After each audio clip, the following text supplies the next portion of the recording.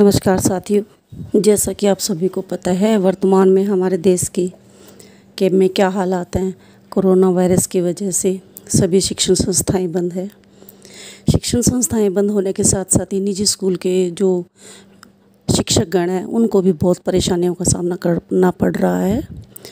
उसी विषय को लेकर मुझे आज एक बहुत ही अच्छी कविता पढ़ने को मिली, जो मैं आपके सामने पेश कर रही हूँ। शिक्षक का दर्द। आज भूल बैठा है ज़माना हमें। जिनके बच्चों की हिफाजत किया करते थे, उनके बच्चों के सपनों को अपनाकर, उन्हें पूरा करने जनाब हम शिक्षक ही लगा करते थे। जब आपका बच्चा स्कूल में आया करता था, बेफिक्र होकर आप घरों को जाया करते थे। स्कूल भी एक घर होता है। स्कूल भी एक घर होता है। ऐसा बच्चों को आप ही समझाया करते थे। जितनी बार भी आपने बच्चों, आपके बच्चों ने गलती की, अपना समझकर सहारा उसे हमने दिया था। जितनी बार उसने जीत हासिल की थी, उतनी ही बार हमने ही उसका आत्मविश्वास बढ़ाया था। याद है वो दिन? याद है वो दिन?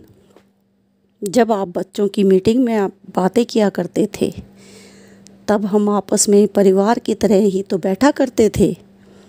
अपनेपन का बच्चों के प्रति हम इजहार किया करते थे और हर समय शिक्षक आपको साथ दिया करते थे। स्कूल के दरवाजे हमेशा थे आपके लिए खुले। जब भी बच्चों को आपके कोई चिंता सताती थी उसकी चिंता का समाधान करने हम शिक्षक ही तो लग जाते थे। लेकिन आज लेकिन आज, इस रिश्ते में ये दरार कैसे आ गई? खुले आसमान में ये बादल कैसे छा गए? विपत्ति तो हम सब पर एक ही थी ना? तो फिर ये रास्तों में बदलाव क्यों आ गए? आपने तो हमसे है किया किनारा, नो स्कूल, नो फ़ीस का दिया है नारा, लेकिन हम किनारा करने वालों में नहीं जनाब, क्योंकि हम शिक्षक हैं।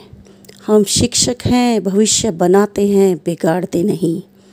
कर्तव्य पथ से शिक्षक नहीं हटेंगे, क्योंकि ज़िम्मेदारी हमारी थोड़ी ज़्यादा है।